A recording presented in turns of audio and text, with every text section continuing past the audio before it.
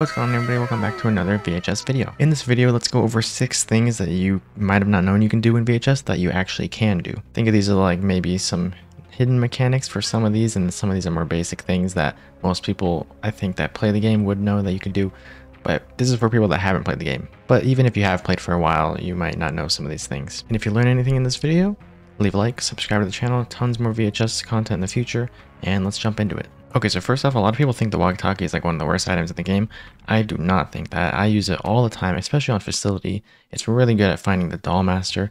And some of you might be confused, like, what? You can find the monster with the walkie-talkie? I thought it was just to point out teammates, right? But actually, no, it's not just for finding teammates. You can actually find the monster really easily with it, even if they're across the entire map. And here I made a little demonstration on how to do it, so just listen on in, open your ear holes, and take a listen.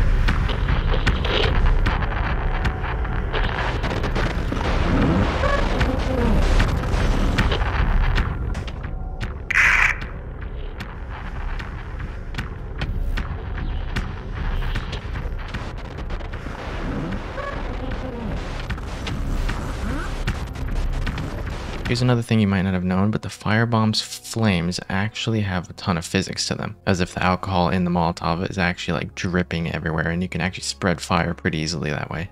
You can throw it up high under rooftops and it'll spread into like two different locations or sometimes it can splash all over the place and get flames everywhere. So instead of just tossing it down onto the monster or in front of the monster on the ground to make a one puddle, you can actually do some pretty cool tricks and get puddles on multiple floors if you have to.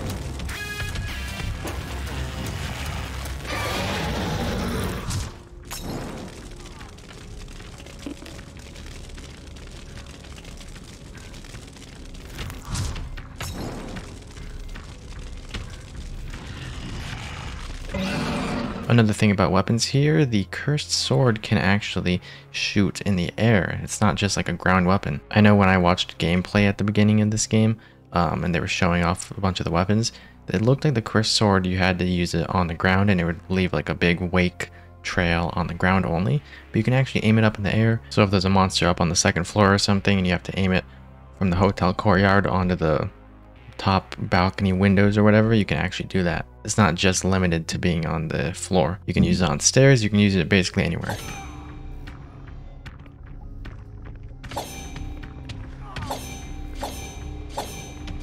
When using the Infernal Eyes incantation, you actually don't waste any charges while doing it. You can just keep on summoning and summoning and summoning, and it doesn't waste it at all. So you can really scare the monster that way. However, doing this with the shock sphere actually wastes a lot of its charges, so don't just taunt the monster by constantly reopening and closing the shock sphere over and over again.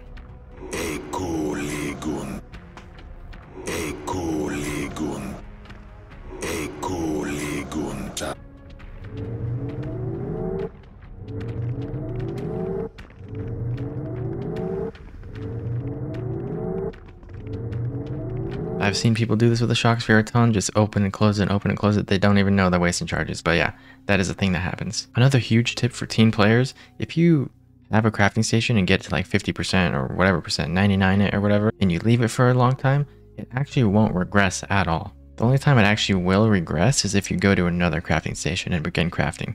At that point, as much as you're crafting on that station, it'll regress that amount on the station that you previously had a weapon crafted at. But yeah, even if you leave a crafting station for like an hour, it won't even regress, not even a little bit.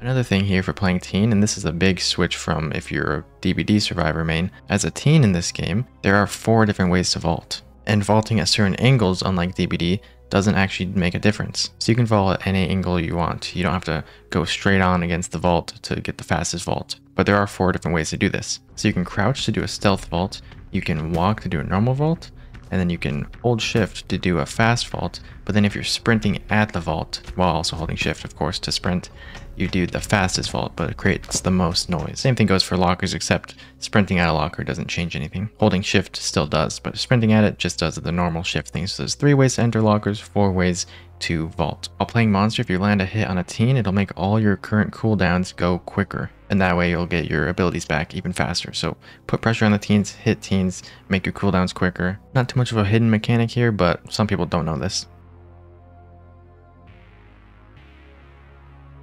And besides that, I mean, I couldn't really think of too many hidden mechanics on monsters, so this is all mostly just for teen players. But hopefully maybe some of you learned some stuff. I just want to do a quick little video here because I'm a pretty good teen player at this point. I've played mostly teen. Uh, I'm not really a monster main, even though I thought I was going to come into this game as a monster main. I played a lot of teen.